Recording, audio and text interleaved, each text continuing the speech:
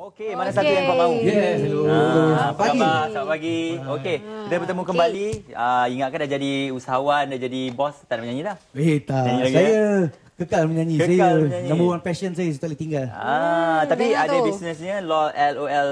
Betul, uh, Love Entertainment. Outlaw Entertainment. LOL Okay. Entertainment lah orang kata. Right, Kita orang right. buat artist managing. Okey, bagus bagus bagus. Okey, ah, Dafi tu lagu single terbaru Dafi. Single terbaru saya, tajuk dia Girl. Girl. Oh, untuk girl yang macam mana tu? Ah, saya bukan saya yang tulis lagu ni, tak ada kena-mengena dengan saya. ah, betul tak siap? Dan dan tak ada kena Kan, mengena. eh. betul. Bukan saya tulis. Kalau saya tulis mungkin. Mungkin, Ah, okey. Kita ni ah, lagu ni menceritakan tentang seorang lelaki. Dia minta dia punya girlfriend pilih antara dia atau this new choice yang girlfriend dia ada. Wow, Ah, dia curang cinta lagi tiga kan. segi lah ni. Jadi saya Okey. tengah menceritakan betapa bertuahnya dia kalau pilih saya lah. Ah, memang bertuah pun. Bertuah tak bertuah, dengarnya Dafi akan ke Indonesia ataupun meluaskan uh, sayapnya ke Indonesia. Empire betul? ke Betul betul. Saya sekarang dalam proses uh, dah siap rakam sebenarnya. Tengah Okay. tunggu nak release je. Saya tengah work on an album dengan Ahmad Dhani. Okey, wow. Jadi ah, alhamdulillah. Jadi uh, insyaallah saya akan pastikan album tu keluar tahun ni juga. Okey. Sebab ada banyak banyak sangat orang tanya kenapa tak keluar-keluar. Ha, jadi mm, memang ada delay sikit. InsyaAllah lah dalam pertengahan tahun ni sebelum pertengahan lah kita keluarkan album. The next Irwan Shah lah ni. Hey. Dafi sangat aktif ya selain daripada menyanyi uh, dengan perniagaan uh, dan berlakon pun uh, sungguh Ada Ada, ada, ada. Ah, Ah, Jadi saya macam mana? mencubalah mana-mana peluang yang saya dapat. Kita mencari rezeki kan. Jadi uh, dalam masa yang sama saya suka timba pengalaman baru. Ah, jadi saya cuba semua benda yang ada dalam industri seni ni.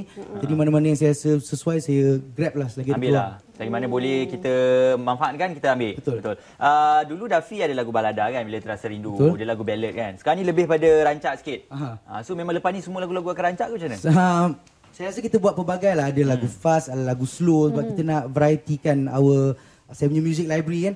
Jadi saya memang teringin nak buat lagu fast sebenarnya. Jadi lepas tu saya dapat lagu ni, diorang bagi saya, saya terus say yes. Saya bekerjasama dengan Hil Husaini, Ezra Kong dengan Omaki. Okey, wah hebat-hebat tu. Hmm, okey. Uh, dan mungkin uh, untuk perjalanan karier uh, Dafi di samping menguruskan artis, tahun lepas ada buat konsert banyaklah daripada LOL Entertainment kan. Mungkin Dafi sini akan ada konsertnya sendiri. Perancangan? Okey. Saya Untuk tahun ni? sendiri belum lagi lah, belum. Untuk Belum, saya okey. personally belum lagi. Uh, InsyaAllah saya teringin lah penyanyi mana yang tak nak buat showcase kan. Jadi uh, keinginan tu ada tapi belum sampai tahap dia lagi. Okey. Okey, selepas ni kita nak dengar Dafi punya lagu Bila Terasa Rindu. Ah, lagu lama. Lagu lama yang sangat popular dulu. Uh, lagu ini dicipta oleh siapa dulu? Uh, Bila Terasa Rindu oleh Adri Abdul Halim. Ha, ha, jadi sekarang ni uh, kita nak dengarkan lagu tu. Uh-huh. Saya rasa lagu itu mungkin, mungkin membangkitkan kembali Betul. rasa rindu pada Dafi. Ingat bila terasa rindu. Ya, dia tahu lagu tu. Ha, dia tahu. Dia suka lagu-lagu macam tu. Saya membangkitkan semula rasa saya dah tua dah. Betul, betul. Tak apa, lagu dia best. Okey. Ah, Nak ikuti untuk- Dafi macam mana? Okay, kalau nak follow saya dekat social media, boleh pergi ke Instagram, Snapchat, Twitter. Apa lagi? Kick. Kick orang tak pakai dah. Ha, ha, uh, ada. Dafi Ismail Sabri. Okey. Dafi Ismail Sabri. Okey, okey. Terima kasih Dafi. Uh, kita akan dengarkan Dafi menyanyikan lagu Bila Terasa Rindu dan selepas itu kita akan terus ke Jabatan Meteorologi Malaysia. Ya. Silakan Dafi.